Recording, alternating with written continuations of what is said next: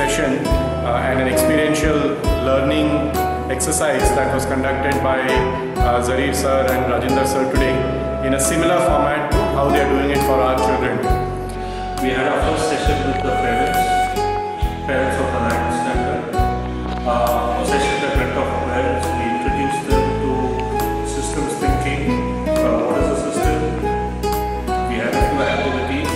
parents have for the first time understood what this systems thinking can actually do for them and their children.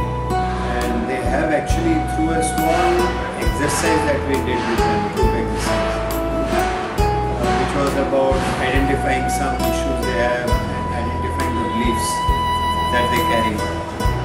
Through that small exercise and sharing of that exercise that they did, It is uh, very helpful for parents to open a mind and learn that uh, not a child but parents where the parents lacks. Uh, I feel that is very very important for parents and this type of workshop more and more should be conducted.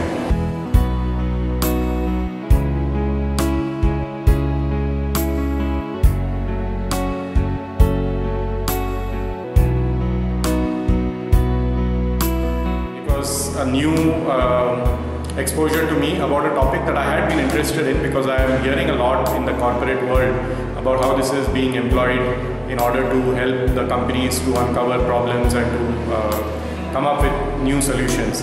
And uh, that they are doing it for the students at the school level, uh, I think is a wonderful initiative by uh, GIS and I am really grateful to them for organizing this and also to the facilitators, uh, Zarir and Rajinder.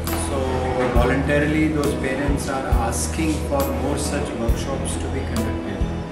And we see a possibility where parents, teachers, students, principal and everyone can come together and before solving the problems that we have, we collectively try to understand what the problem is, understand different beliefs that are creating that problem and then that understanding will help us to bring more sustainable, more lasting solutions. I think uh, the reason why I'm saying this is that uh, the new skills that children have to learn are not really about information or about the best uh, way to implement a certain uh, procedure, you know, in a science lab and all that. The new uh, thinking is about how to look at life, how to solve problems,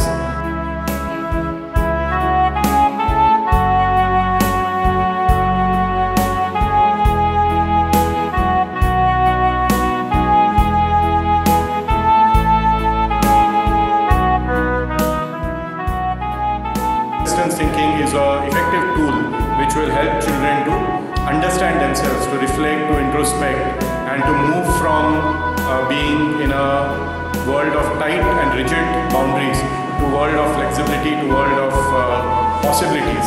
Um, so this is something which is not going to end with their 10th or 12th or even degree, but I think this is a skill which will hold them uh, good for life.